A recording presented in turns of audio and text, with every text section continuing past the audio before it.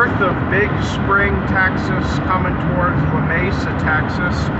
Thought we'd get out the recording here. It's a little bit of an iconic landscape. It's, if you look at it, just red dirt. Nothing but red dirt. Just about every inch of it this time of year is bare and plowed. So as far as the eye can see, there's uh, just that red dirt there shining under the sky. Course there's your occasional uh, oil well, oil storage tank. And interestingly enough, every once in a while, just absolutely out in the middle of that infinity of red dirt, you'll see a little cluster of uh, trees and there'll be a, a, house out in the middle of that. And I wish that one would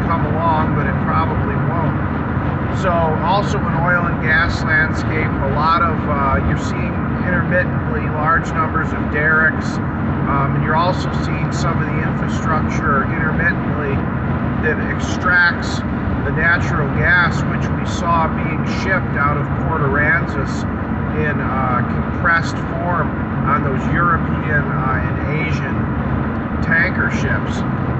On the topic of diesel, let's talk about diesel. This, this land should really get you thinking about fuel because every inch of what we're looking at here, every inch of this infinity has been plowed and turned over and worked by diesel fuel.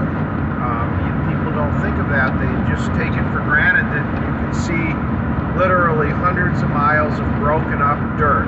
Well, every inch of that ground that was turned and broken was broken by diesel fuel. Think of the energy. Take, imagine taking a hoe and pulling it through dirt. Imagine how much energy that takes. Now magnify that to the scale of what you're seeing on this landscape and you realize that the amount of fossil fuel energy that is applied to this landscape every year, year out, is absolutely staggering. Here we have a little isolated homestead, pretty cool to see.